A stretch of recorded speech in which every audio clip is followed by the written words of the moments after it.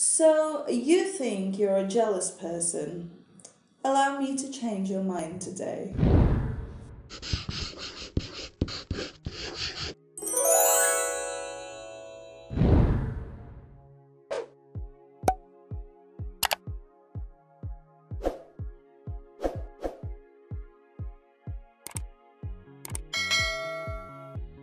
Happy Valentine's Day! If, like me, you're spending today alone at home, which given the state of the world, most people probably are, boy do I have a video for you. Today we're going to talk about jealousy, and I'm going to change your mind about it. No, really, you'll go away from this video feeling a lot better about yourself, I promise. So whenever you're ready, give this video a thumbs up, hit that subscribe button down below, and now let's have a look at how we can turn jealousy into an asset.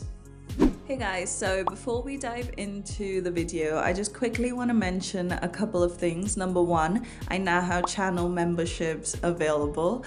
I've got two tiers at the moment. You have your moonbeams and your sunbeams. Your moonbeams for $2.99 a month um, in dollars. Um, you have access to the Patreon art and chill tutorials, which are like more than a half hour long at least um, most likely about 40 to 50 minutes long and um, it's kind of a deferred access so you you have it released to my moonbeam channel members um, a lot later than it goes live on patreon. And uh, the sunbeam which is an extra just one dollar every month. So that comes up to a $3.99 per month. Um, my Sunbeam channel members will get all of the video um, rewards that usually go up on Patreon, but again with that same delay, just because I want to keep things fair for my patrons. So um, if that's something you guys are interested in, then make sure you hit that join button. That should be right next to the subscribe button, and um, it should give you instant access to all the rewards that I already have up. And number two, I now have uh, my Discord server open to all of you guys. So if you'd like to join, there is a link in the video description. Um, come on there. We have memes, we have um, dog pictures, we have cat pictures, we have interesting conversation. I'll that's that's all I'm gonna say. so uh, if you guys are on Discord and if you want to join the community, check that out below. Okay, back to the video. Ah, jealousy. That green monster that comes out to play when we see our friends succeeding and getting married and having babies, while you and I are at home eating a whole entire packet of Oreos with chocolate cream scrolling through Facebook, considering the importance of dropping a like on Becky's engagement announcement versus tapping and holding and dropping a love reaction instead. And if you ever observe that feeling, you know that jealousy feels dense and heavy and exhausting. But can we ever take jealousy and turn it into a productive sentiment? The key lies in rolling it back a little into a way less toxic sister emotion envy. You see, evolutionary psychology suggests that there is a very distinctive difference between jealousy and envy. Envy is a wishful feeling. You see someone have something you want and you wish you could have that too. Jealousy is basically the same exact feeling, but here is where the difference lies. With envy, you recognize that while someone might have the same thing as you want, they probably worked hard to get it, and so they are deserving of having that thing. Jealousy, on the other hand, is when you believe that you are way more deserving of that thing than the other person is, and so you should have it instead of them. The point is that envy appreciates that your goal is attainable through dedicated effort, whereas jealousy assumes that your goal has been stolen by someone else, and so no matter how hard you try, you'll never attain it. So obviously, it is the other person's fault for taking it away from you, right? So, as you can clearly tell, one of these emotions comes from a place of abundance, while the other comes from, well, not abundance. Jealousy straight up assumes that there isn't enough happiness or money or success in the world for every single person to have at once. It leads you to believe that in order for someone to win, someone else has to lose. It makes you think that life is a zero sum game, that in order for you to be happy, someone else has to be sad, and in order for you to be successful, someone else has to fail just to balance things out. And that, my friends, is a classic lack mentality thing. Because if someone else has to lose in order for you to win, the opposite of that would also be true, right? If someone else is winning, that would mean that you are losing. But ask yourself if that was truly the case, how could there possibly be so many people who are genuinely happy? Or on the flip side, why are there so many more people who are genuinely unhappy? If everything is supposed to be evenly balanced, why is the majority of our population so deeply unsatisfied with life? If it was all about a zero sum game, wouldn't there have to be an equal number of super happy, super successful people in the world? So maybe, just maybe, the whole balance theory is complete fiction created to make you feel like you're always lacking something. And maybe that is a predatory tactic used by corporations to try and sell you happiness in the form of consumer goods. I digress, but the point is that jealousy as a concept comes from a mindset of there isn't enough to go around. Envy, on the other hand, is one of my absolute favorite emotions because envy, my guy, comes from a place of abundance. Look, I know it sounds like a contradiction, but hear me out. Envy is the feeling of, oh wow, she just bought a Ferrari. Damn, I'd like to have a Ferrari too. Maybe I should ask her how she did it. And that's the big phrase here is I would love to have that too. That very sentiment implies that there is enough Ferraris to go around because you live in a world where both you and the other person could own your own Ferraris. Plus, envy asks you to look at ways in which you can grow and improve your life and your habits in order to reach that very same goal. Envy isn't about snatching away what someone else has so that you can have it. That's jealousy. Envy will make you want a copy of what someone else has because you know good and well that they deserve it just as much as you do. So you see, envy is a much more expansive emotion. It makes you want to be better at what you do so you can also have similar things as the people that you idolize have. Envy knows there is more than enough abundance in the world and there is plenty of happiness and success for every single person who's seeking it.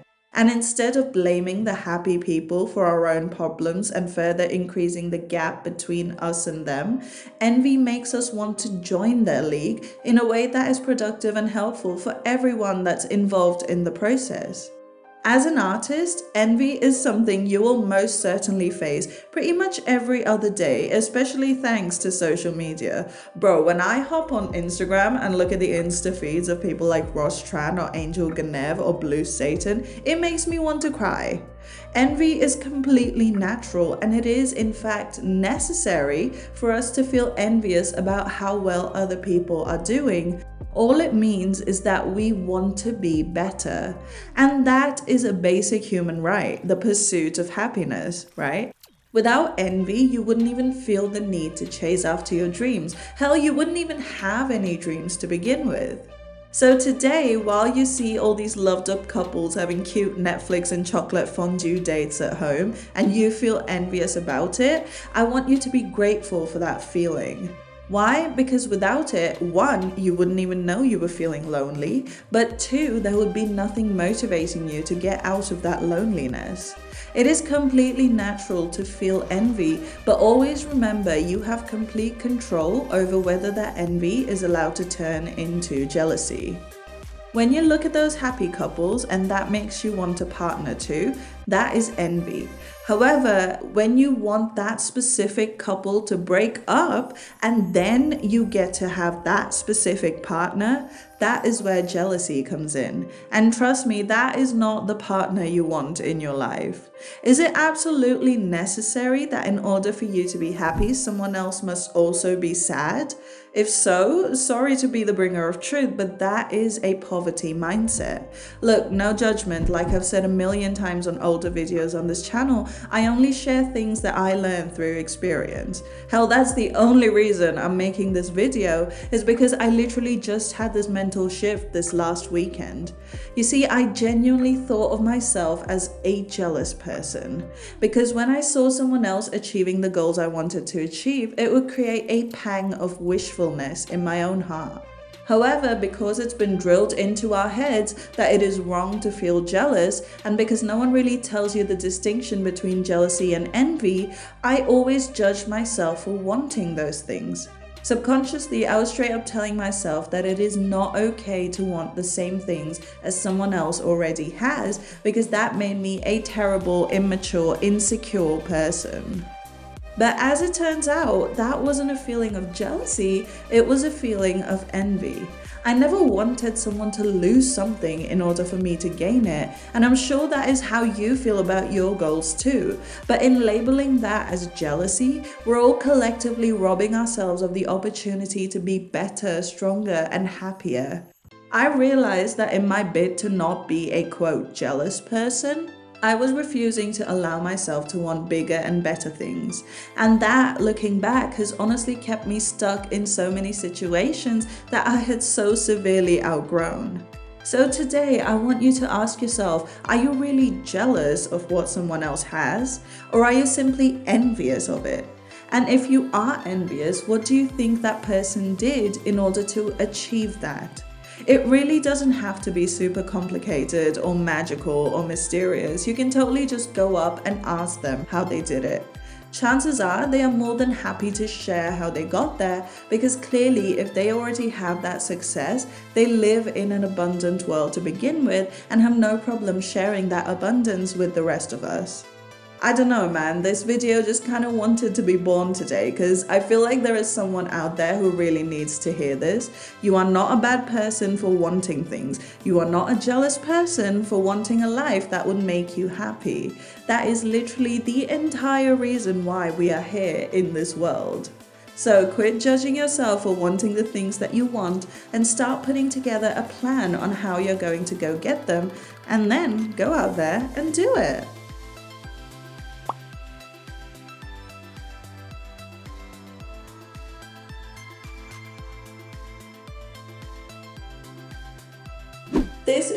Of those videos that didn't let me sleep too well until I got it out into the world. I'm sure anyone who's created something probably knows this feeling. So whoever you are, whoever this video is meant for, I hope it found you and I hope it helped. As always, if you've enjoyed this video and found it helpful, then please remember to give me a big thumbs up, hit that subscribe button down below and the notification bell so you don't miss another upload on this channel. If you want to say hi, come join the community Discord server. I've now made some of the channels available to everyone. Uh, so that includes you guys, my YouTube subscribers. So check out that link below. Come say hi. We love a good meme on there. So bring your best. And with all of that said, thank you so much for hanging out with me today. I hope you've enjoyed it as much as I have. Check out some more videos up here, and I'll see you guys on the next one.